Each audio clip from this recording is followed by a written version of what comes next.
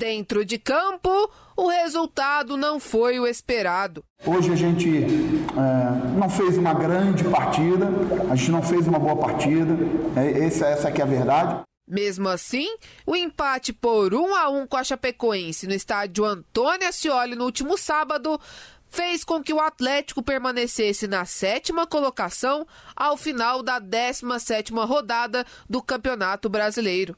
A pontuação, que é superior à do ano passado a essa altura da competição, faz com que os jogadores busquem fazer história mais uma vez.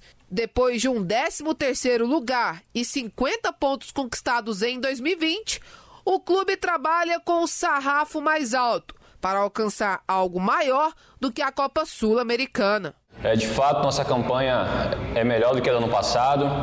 É, a gente tem como meta, sim, é, ser melhor do que ano passado e ir mais além. É, a gente aprovou, nosso time é bom, nosso time tem qualidade, a gente pode chegar é, onde a gente, onde nossos sonhos né, almejam, né, que é uma pré-libertadores, uma Libertadores, quem sabe, né? Além do volante William Maranhão, quem também almeja um lugar mais alto na tabela é o zagueiro Éder.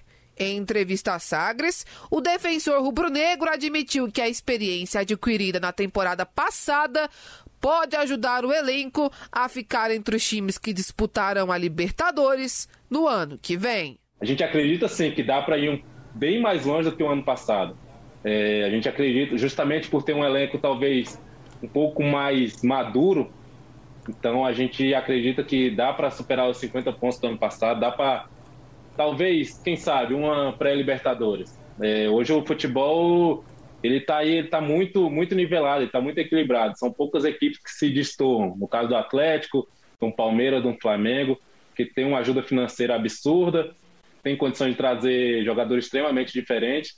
Mas o restante, cara, eu acho que está bem equilibrado. Então, a gente já demonstrou na competição que tem, tem condições de estar tá lá em cima brigando sim. E você pode ter certeza, não só vocês aí da imprensa, como torcedores, que o papo entre os jogadores é esse: é fazer história mais uma vez e melhor ainda. Se quem entra em campo está otimista e sonha alto dentro do Campeonato Brasileiro, o presidente Adson Batista mostra pés no chão quanto às pretensões da equipe. Dono do menor orçamento da Série A, o Atlético precisa garantir sua permanência e fazer uma campanha no mínimo igual à de 2020. Para o dirigente, terminar entre os dez primeiros colocados já será algo importante para comemorar. Nunca falamos Libertadores. Eu sei da nossa realidade. É evidente que se for desenhando, a gente for merecendo, poxa, é o maior sonho do mundo, né? Mas vamos primeiro por etapas. Primeiro é o nosso objetivo de chegar é, nos 45 pontos, né? E depois vamos sonhar com coisas maiores. Primeiro nós temos que fazer isso, né? Uma coisa puxa a outra. Meu maior sonho é chegar na primeira página. Se eu conseguir isso, para mim é uma realização. E, logicamente, se vacilar, o Atlético vai estar tá vivo querendo buscar esse objetivo.